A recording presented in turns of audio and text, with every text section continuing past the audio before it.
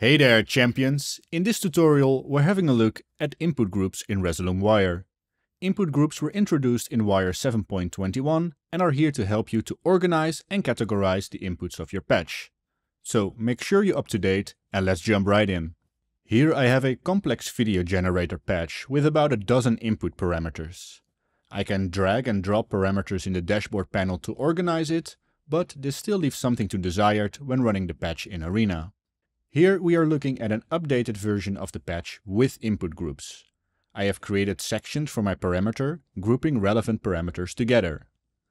When we hop back over to Arena, we can fold and unfold these groups to access the parameters that we need.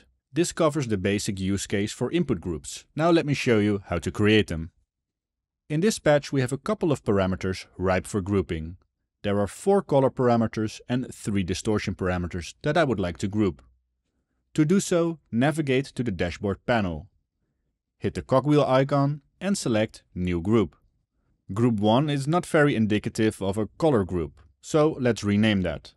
Hit the cogwheel icon next to the group and select Rename. I will call this group Color. Next, I'm dragging all the parameters into the group. You know when a parameter is in a group when its name is grayed out. This does not mean that it cannot be used anymore, the parameter functions as expected.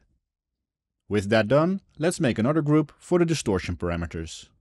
Instead of using the cogwheel to rename the group, I will double click instead as a shortcut.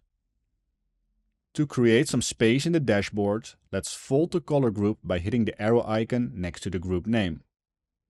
Note that I can organize parameters within the group too. I don't think we need to group the angle, softness and twist parameters, so I'll just drag them to the top of the dashboard. I also wish the distortion group to be underneath the color group. This can be achieved by simply dragging and dropping the group within the dashboard. And here we are back in Arena, where we can check out how our groups are looking. Looking damn fine if I may say so. That wraps it up for this tutorial. Now you know how to use groups. So no more excuses for messy dashboards.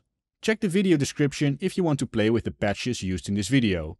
Drop any questions, deep thoughts or fake quotes into the comment section below and I will see you in the next one.